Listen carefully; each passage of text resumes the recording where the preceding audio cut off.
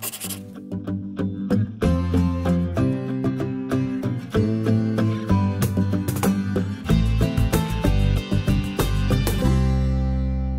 Съемок фильмов у вас на данный момент нет? Я не так часто снимаюсь, и потом Максим сейчас очень много снимается, и как-то он... Кто-то должен быть дома. Кто-то должен быть дома, да. А можете вспомнить этот момент? Я всегда была ужасно стеснительная, зажатая. Мне казалось, что я никогда публично не смогу ни выступать, ни говорить, ничего. Вы дочь знаменитого папы. Я убеждена, что если бы я не пошла в актерскую профессию, а, я думаю, что я бы все равно около бы театра бы или около кино. У вас больше преобладает логика или эмоция? Я абсолютно, как бы сказать, педант, жесткий. У меня вся жизнь упорядочена. Я бы хотела, не знаю, языки учить и на музыкальных инструментах заниматься, ездить там, не знаю, на стрельбу, на э, конный спорт и так далее. Сложно играть вместе главные роли со своим мужем? Очень много чего-то было тяжелого, темного, тревожного. После какого фильма вы все-таки почувствовали, что, ну вот, наверное, на начинают не давать прохода? Невозможно человеку сидеть, там, не знаю, в кафе, в ресторане, потому что смотрит, как ты ешь, как ты ходишь. Меньше всего я гналась за узнаваемостью. Популярностью. Популярностью. Добрый день! В эфире проект «Культурная беседка».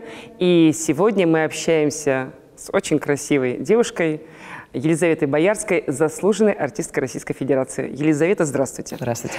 Елизавета, как, кстати, вам удобнее и приятнее, когда вас называют, ну, вам, скажем так, на слух, Елизавета или Лиза? И приятно, Елизавета. Как вам нравится, так и называется. Очень хорошо. А, Лиз, тогда вот такой у меня вопрос. В сети есть несколько разных вариантов э, ваших фильмов-интервью о вас. Вы даже показывали целую, целую экскурсию по Петербургу. Это было очень красиво, интересно посмотреть те места, где бываете вы. Вообще вы любите давать интервью? Интервью – это просто часть э, ну, публичной жизни человека или вам правда интересно рассказать о себе или о творчестве? Э, я бы так сказала, что когда э, речь идет только о намерениях, я всегда сначала воспринимаю это как какую-то обязанность, что как бы надо, и надо найти время, а потом, когда начинаю разговаривать, я, как правило, очень увлекаюсь, и э, если интересный вопрос, интересный собеседник, ну, то, то есть всегда все, когда интервью не ограничивается вопросами-ответами, а когда мы вдруг вступаем в живую беседу, и когда вдруг какие-то неожиданные мысли, и вдруг сам начинаешь размышлять по поводу там интересных для себя вещей, то это становится очень интересным процессом. А пересматриваете потом результат? Нет, не пересматриваю. А, ну, у нас сегодня с вами тоже необычная локация. Мы сегодня в Театре наций, э, да. в прекрасном театре. Сегодня, кстати, какая у вас будет роль? А сегодня дядя Ваня, Елена Андреевна. А премьера же не так давно прошла? Ну, два года назад уже, или, подождите, или год назад. Не, ну, полтора, полтора года назад, угу. да, примерно так. Ну да, у нас у всех вылетел этот да, год у нас, под названием да, «Пандемия». Теперь все, все, все смешали. Вычеркните все из моей биографии да, его, да, да, потому что я его точно не жил. А, но на самом деле вы целых два года уже живете не в Москве, а в Петербурге. И вы очень хорошо интересно рассказывали в интервью про Петербург и про то, как вы здорово и быстро переехали, когда ваш муж только произнес фразу «А не поехать ли нам жить в Петербург?» И вы вот и, и там. Так и было, да. Но Москва теперь, теперь вы в Москве в гостях? Да, я сюда очень часто приезжаю по работе. Ну, вот для меня это комфортное состояние. Я, для меня это такой, знаете, уже целый ритуал. Выйти утром из поезда, э, будь то Сапсан или ночной поезд, там, выпить кофе, сесть по проторенным маршрутам, либо на Мосфильм, либо на какую-то съемку, либо в театр. И вот э, у меня как бы ассоциируется Москва с, вот, с дорогой от вокзала куда-то, где я работаю, э, и потом уже еду, собственно, домой. То есть, и снова на вокзал. По сути, съездить на работу на Москву, в, в Москву, и для меня это ну, так естественно. Э, ну, наверное, если бы какая-то какая большая роль случилась в Москве, какой-то большой проект, то, конечно, я бы здесь осталась на подольше. Но я себя здесь сейчас чувствую в гостях. И мне это нравится. Ну, то есть мне нравится возвращаться домой в Петербург. Это ощущение для меня дорого. А Москва долго была в вашем периоде э, жизни как дом? Два с половиной года. Да, долго достаточно. Два с половиной года – это прилично.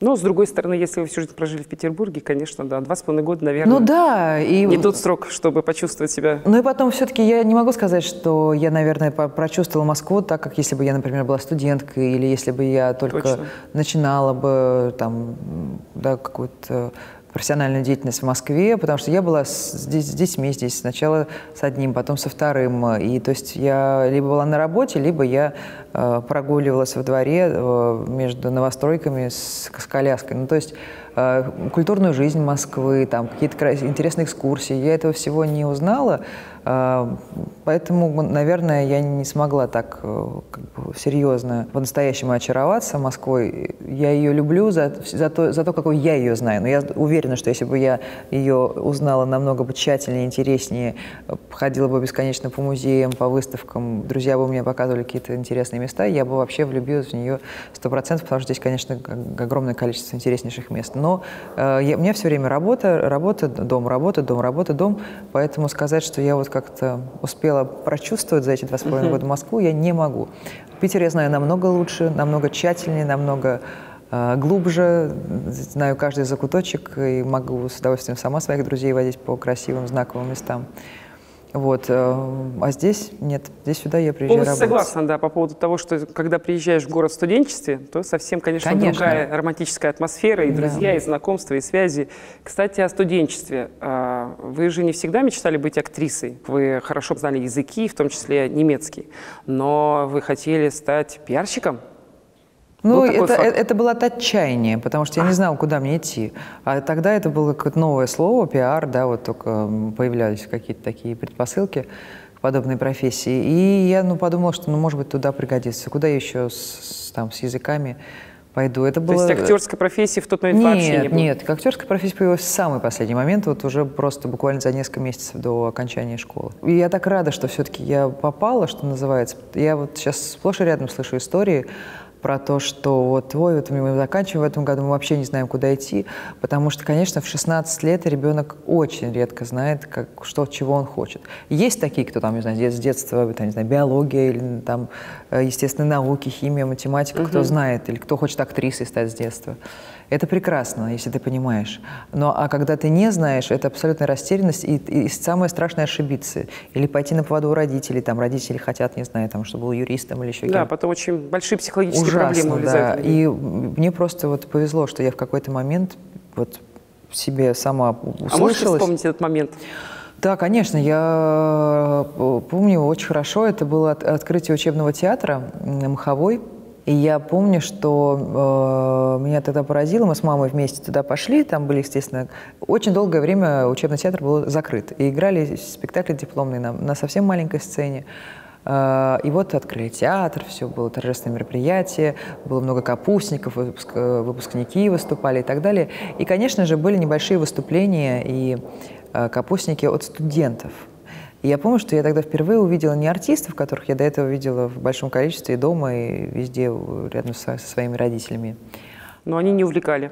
Ну, как бы да, я про это все понимала, и не могу сказать, что меня могла заострить на этом внимание.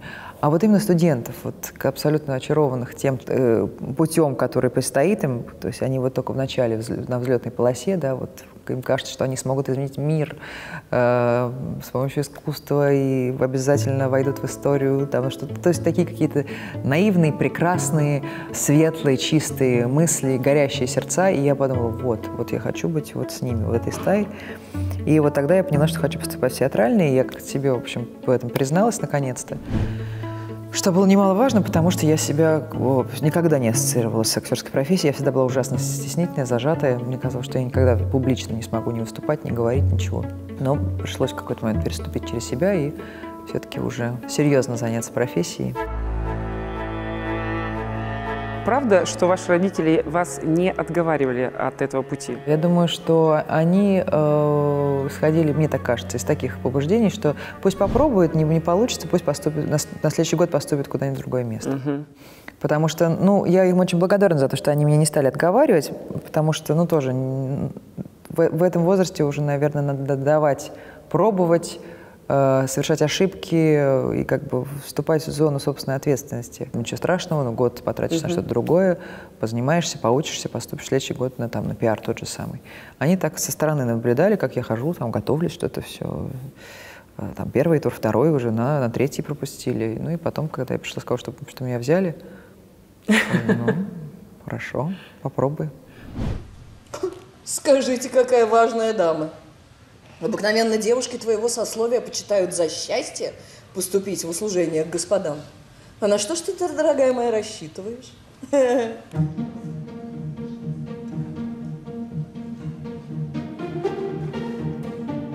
Понятно и очевидно, что за вами долгое время, наверное, шел шлейф, э, то, что вы дочь знаменитого папы и так далее.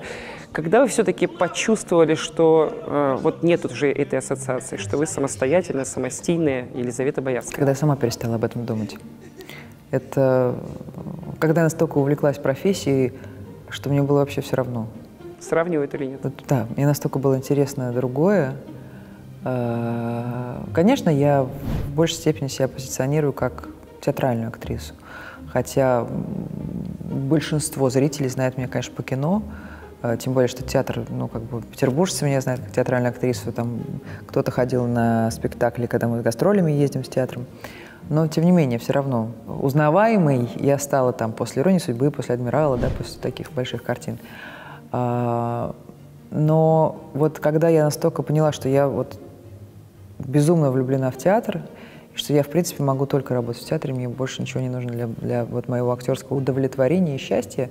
Вот тогда я вот абсолютно освободилась от каких-то, мне было абсолютно все равно. Я понимала, что я точно занимаюсь своим делом, что я попала в нужное место в нужное время, что я нашла своего режиссера, что это, я, это моя судьбоносная встреча с, с Львом Брамовичем Додиным, что я хочу быть в этой компании, мне интересно заниматься этой профессией в этой компании. А дальше как будет складываться дальше жизнь, это уже все не важно. И вот когда, причем это даже, я не могу сказать, что я в этот момент села и сказала, о, вот я поняла, uh-huh. вот этот момент наступил. Нет, оно просто вот, я вот абсолютно была фанатична, увлечена работой в театре над спектаклями, над, над новыми ролями и так далее. И оно как-то вот само покатилось, растворилось и в общем, наверное. Я думаю, что, тут, понимаете, это какое дело? Это, наверное, кто-то так и сейчас про меня говорит, возможно. Uh-huh. А, но это уже не важно. Это уже не важно, потому что я сама себя как бы по-другому ощущаю. А, это, не, это я не к тому, что я себя ощущаю какой-то дико уверенной, как бы самостоятельной, а просто я настолько люблю свою профессию, что понимаю, что я бы ничем другим не смогла заниматься. Я очень рада, что я занимаюсь своим делом.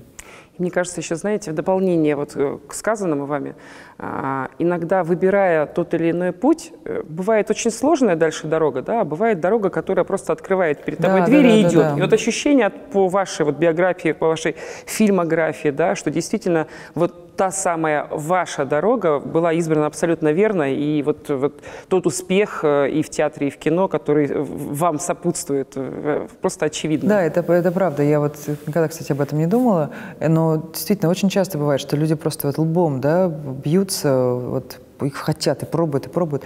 Вот мне кажется, в этот момент очень важно – дать себе трез, ну, как бы трезво оценить э, собственную ситуацию со стороны, и если что, как бы это ни было больно, но в, в нужный момент сойти с дистанции, в любой профессии я сейчас говорю, потому что uh-huh. я встречала таких ужасно упертых людей, которых уже хочется сказать, ну, попробуй что-нибудь еще. А вот нет, как кажется, что это надо...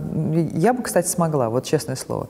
Я очень увлекающийся человек, я убеждена, что если бы я не пошла в актерскую профессию, я думаю, что я бы все равно около бы театра бы или около кино. Я бы с удовольствием была, я бы, наверное, смогла быть, не знаю, художником по гриму, или, я не знаю, пошла бы на сценарный, или пошла бы э, там, была бы завлитом, не знаю, в театре. Но что-то связанное с литературой, с, с искусством, да, с театральной культурой. И я бы была счастлива в этом тоже.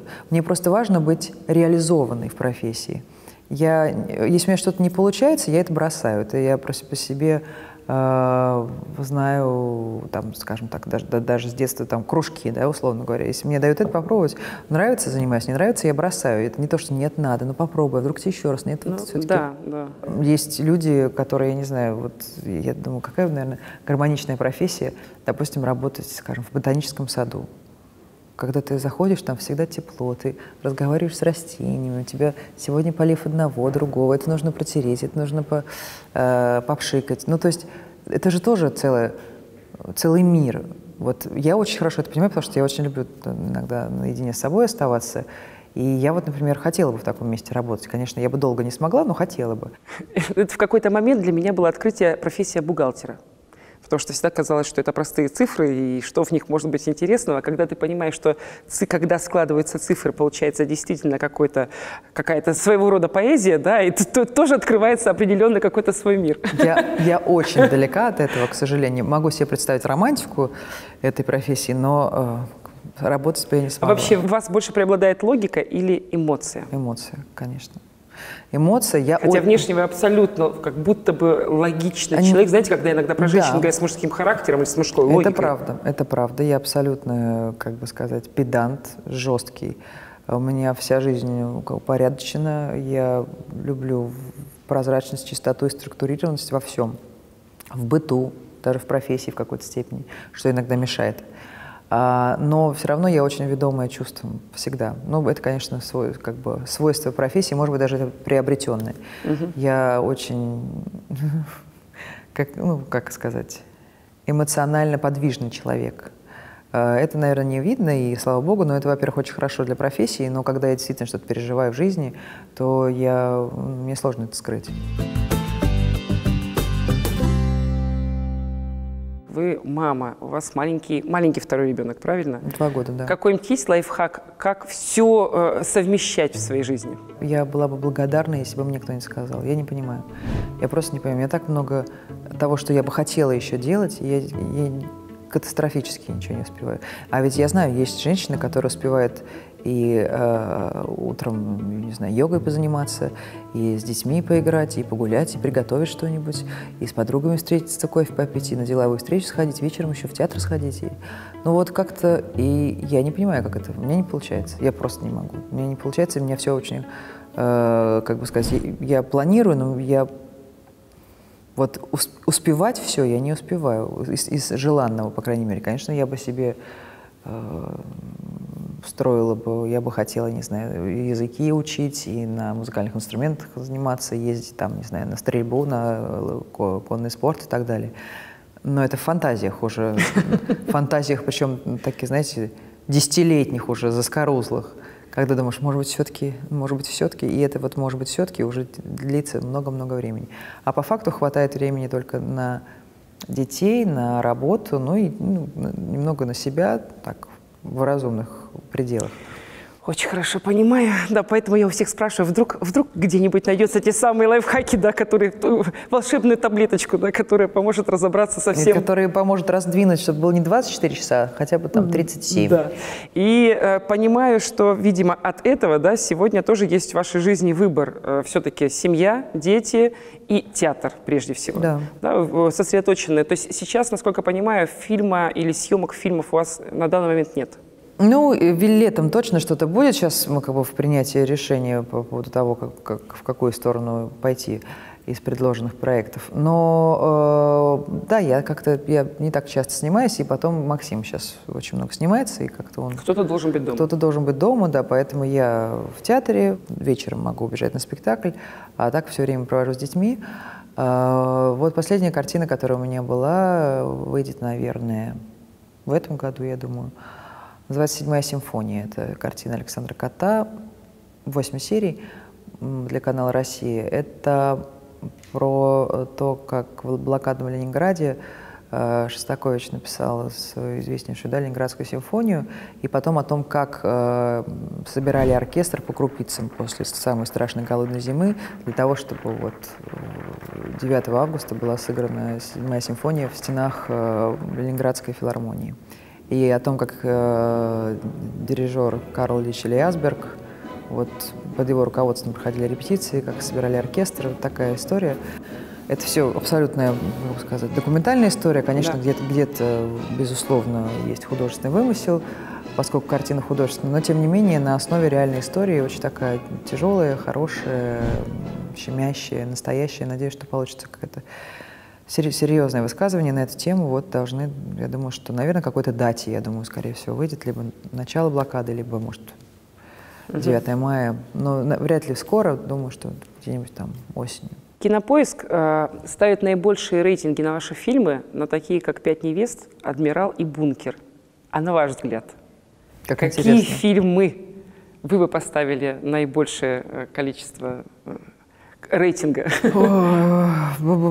Ну, я даже не знаю. Я, знаете, у меня есть, допустим... Но мы зрители ориентируемся так я понимаю, например, я люблю очень, например, картину э, «Куприн». Снимал ее Андрей Андреевич Шпай. Она прошла как-то так спокойно, не помню, по, по одному из федеральных каналов. Я там очень люблю и кар- эту картину, и роль я там очень люблю, но э, не уверена, что большое количество зрителей ее видели. А, хотя... Просто недооцененные. Ну, ну я, не, я не не знаю. увиденные, не увиденные, открытые. да, не увиденные, Мгм. не открытые, да. И для меня было вообще огромным наслаждением с Андреем Андреевичем работать. Это был такой очень классный опыт. А, Я очень люблю картину, например, «Я вернусь». Я совсем там маленькая снималась тоже, как вот в «Иронии судьбы». Это сериал длинный, там 12 серий а, режиссера Елена Немых. Я там играю девочку, которую угнали в Германию, она остербайтершу. Классная была картина, изум- изумительный сценарий, тоже во многом основан на реальных событиях. Вот, э, мы там снимались с Леной Подкаминской, с Леной Николаевой, вот мы трех, трех сестер играли. Вот, то есть это, например, есть картины, которых вообще, ну, знают, видели, но очень мало. А есть как, как бы громкие, э, которые были увидены и услышаны. Ну, «Пять невест» я понимаю, за, за что, потому что, это, ну, действительно очень хорошая, добрая, добрейшая комедия с прекрасным составом и актерским, и хорошей драматургией. И он очень Комедии, лё- как правило, не хватает. Да, и тем более легких. она такая, как бы, ну, не, не пошлая, не вычурная, Да. не какая-то экзальтированная, а очень такая до- добрая, светлая. Вот. Ну, а «Адмирал» в свое время действительно очень, очень громко прозвучал, и мне по, по сей день часто говорят, вы там, мы так любим ваш квартирный «Адмирал», хотя я прекрасно понимаю, что это уже было там тысячи лет назад. Мгм. Ну, а мы были вместе с Максимом там, потому что только на вот, когда мы друг друга знаем на уровне, не знаю, Просто знаем, да, всё. на, на уровне, не знаю, физиологическом и э, вот абсолютного внутреннего знания друг друга, механизма друг друга. Мы дома, мы все время занимались, мы репетировали, разбирали, читали, вычитывали, сочиняли, как, как могли бы сцены пройти. Потом к Карану Георгиевичу все приходили, рассказывали, он либо соглашался, говорит, да-да-да, отлично, давайте все так, либо говорил, не-не-не, сегодня давайте по-другому. Вот. Но в любом случае мы были в таком активном процессе, и, вот, и потом приходили домой и были в этом же процессе. А вот когда закончились съемки, вот было немножко тяжеловато. У меня, но у меня вообще есть было... прилипло, Да, жилось, да? мне, я просто, мне хотелось так отрезать и выбросить, чтобы, потому что очень много чего-то было тяжелого, темного, тревожного э, и какого-то, знаете, неблагополучного. Мне хотелось это поскорее себя выгнать, выкурить, э, выпустить в форточку, чтобы это не возвращалось, потому что как-то очень тяжело было в конце уже, съемки были длинные. Это, может быть, пожалуй, единственный случай. Так вот, да, я не могу сказать, что я из тех актрис, которые долго не могут выходить из образа после спектакля, Просто есть такие, домой. да, иногда действительно роли, которые, Ну да, которые прилипают, такая- которые действительно думаешь, как это? Очень тяжелая, Мгм. очень тяжелая. А вы упомянули про иронию судьбы с легким паром. Но это э, как-то сиквел, да, называется? Как это слово О, нет, называется? сиквел- Когда с- а, продолжение, да, наверное, сиквел, да, да, с- не- это, нет, да, просто да. ирония судьбы продолжение. Да, продолжение, да. То есть, а, ну, как правило, там, когда нашумевшая сама вот, картина, да, и когда снимается вот продолжение, всегда есть момент, а вдруг не получится, вдруг не зайдет, вдруг, вдруг, вдруг, вдруг. Да, даже и не, Как не вы на это вдруг, пошли? конечно, и, э, и до, и после было так много предубеждений, что с ними невозможно было не столкнуться. Но я была такая маленькая, я об этом не думала, что кто-то что-то может... Ну, для вас это было какое-то личностное? Смотрели же наверняка эту с легким паром? Конечно, я только... Мы я, же с ней вообще все, не Ну, знаю, конечно, родились разумеете. Я просто обрадовалась, что мне позвали. Я прочитала сценарий, мне он очень понравился, я смеялась, он был очень веселый, смешной. У меня, вот сейчас бы я уже, бы мне дали, бы сказала, а что подумают, а нормально ли что? Ну как же так, вот уже бы сейчас Да, уже... да, да. А, а тогда, сколько мне было, 19 лет или 20, сказала, ух ты, вау, все. И мы стали репетировать, и наслаждением э, снимались, и участвовали в съемочном процессе.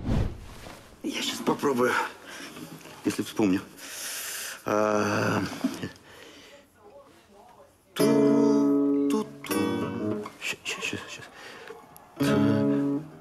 Та-да-тай, туру-ту-ту.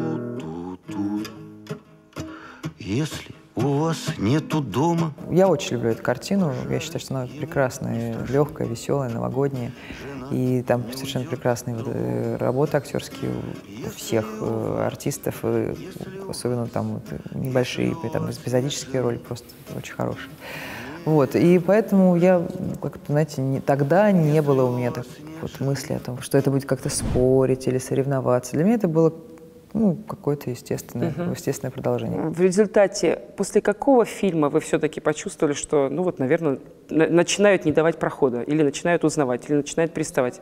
Вообще какое-то есть утомление от публики, которое, не знаю, ну, начинает к вам излишне проявлять свое внимание? Или нет такого? Или вы спокойно ходите по улицам, и никто к вам не подходит с вопросами и с автографами? Я так скажу, я никогда в жизни не, ну как бы сказать, меньше всего я гналась за, как бы сказать, за узнаваемостью, Популярностью. популярностью. Конечно, это э, с точки зрения профессии это здорово. Ты э, востребована, тебя зовут в интересной роли. Это как бы вот друг за другом ведет очень хорошую цепочку последствий в виде интересных проектов. Но вот именно с точки зрения э, зрительской, э, зрительского внимания, мне, конечно, важно знать, что э, спектакль, на который я играю, приходят зрители, или кино тоже смотрит э, публика. Э, Но нарушение личного пространства для меня, оно как-то ощутимо. Э, Может, я думаю, что это за счет того, что я росла в семье артистов. И поскольку я прекрасно знаю, что такое покушение на личное пространство и бесконечные звонки поклонниц, и когда не дают прохода, и когда тыкают пальцем и окрикивают, и невозможно человеку сидеть э, там, не знаю, в кафе, в ресторане, потому что все смотрят, как ты ешь, как ты ходишь, как ты это. Благодаря папе у меня к этому очень сложное отношение, скажу честно. То есть я себя иногда как бы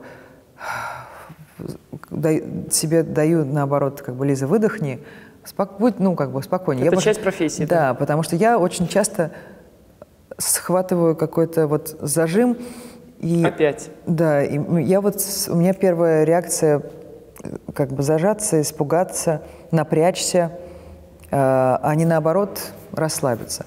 Ну просто я сейчас говорю о своих внутренних ощущениях. Наверное, это не очень правильно. Наверное, это, к этому нужно относиться проще, но у меня есть какой-то опыт вот именно вот этого а, детского ощущения, когда так, п-